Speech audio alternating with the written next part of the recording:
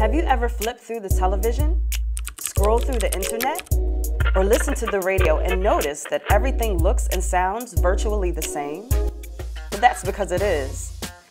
It's kind of like going to a buffet where you thought you would have a variety of food options, but you only have a few.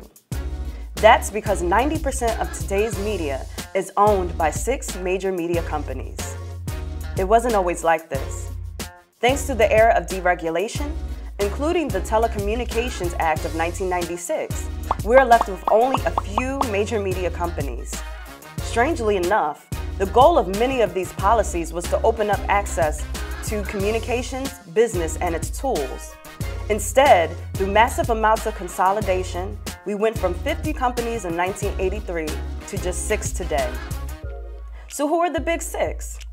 Comcast, the Walt Disney Company, 21st Century Fox, Time Warner, CBS, and Viacom. They own everything from your favorite streaming platforms, local news channels, movies, and other publications. Instead of trying to compete with the major media companies, people should embrace local independent media. But what is independent media? Independent media is radio, television, newspapers, and internet sources that are free from the influence of corporate interests.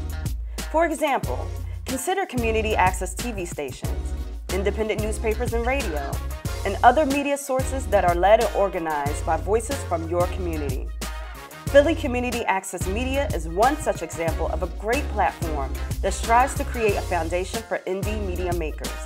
The advantages of independent media include more creative freedoms, diversity in content, and fewer commercials.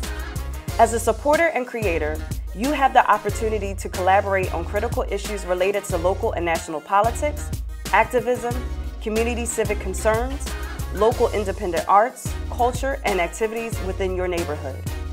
Creators have many tools and resources at their disposal.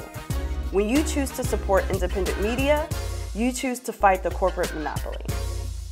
Individual choice is essential to making sure everyone has a voice.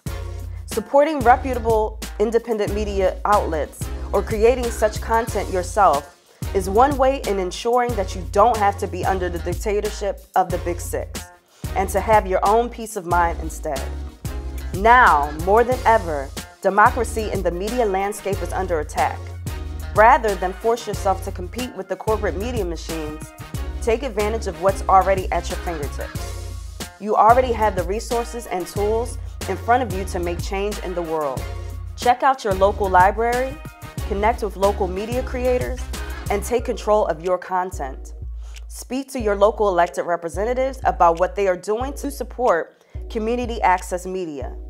And remember, Independent media isn't about fighting for access to a corporate platform, but having a platform of your own.